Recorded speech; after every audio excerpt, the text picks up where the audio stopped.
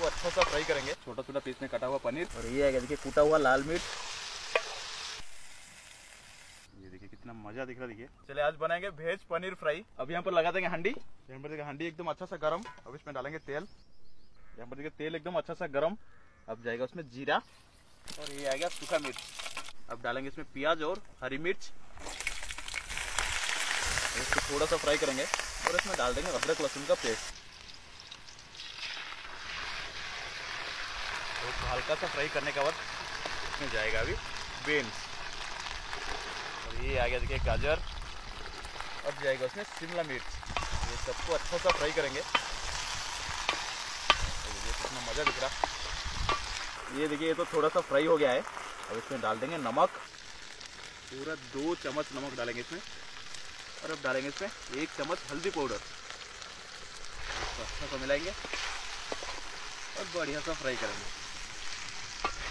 ये देखिए तो अच्छा सा फ्राई हो गया। अब इसमें जाएगा पनीर। छोटा छोटा पीस में कटा हुआ पनीर, सीधा हंडी का अंदर। अभी ऊपर से डाल देंगे टमाटो। अब इसको अच्छा सा मिलाएँगे। और दो मिनट तक मसाला का साथ बढ़िया सा फ्राई बनाएँगे। और उसका बाद जाएगा इसमें थोड़ा सा जीरा पाउडर और गरम मसाला। ये देखिए, ये भी बढ़िया सा फ्राई हो चुका है। तो चले भी ऊपर डालेंगे मसाला। ये है देखिए धनिया पाउडर, पूरा एक चम्मच। जीरा पाउडर। और ये आएगा देखिए, कूटा हुआ लाल मिर्च, पूरा दो चम्मच, और इसको अच्छा सा मिलाएँगे। और खाली दो मिनट फ्राई करेंगे, और उसका बाद रेडी हो जाएगा। Veg paneer fry. ये देखिए वेज पनीर फ्राई एकदम रेडी हो गया है। तो चले वेज को बाहर निकालेंगे।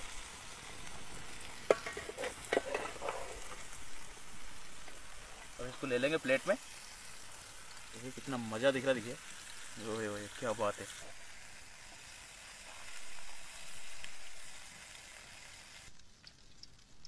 देखिए वेज पनीर का साथ खाने के लिए। तो चलिए, पाव रोटी की इस मसाला वाला तेल में बढ़िया सा फ्राई कर देंगे।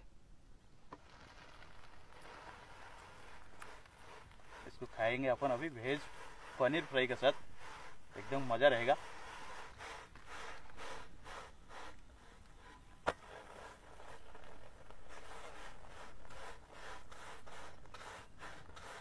ये देखिए, ये तो मसाला वाला तेल में बढ़िया सा फ्राई हो गया है। तो चलिए, इसको बाहर निकालेंगे।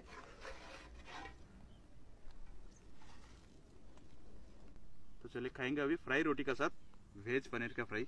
तो सबसे पहले इसको ले लेंगे प्लेट में।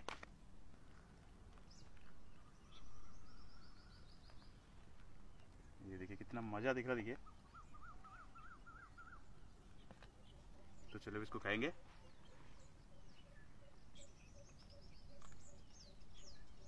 ये देखिए, क्या बात है। एकदम ज़बरदस्त।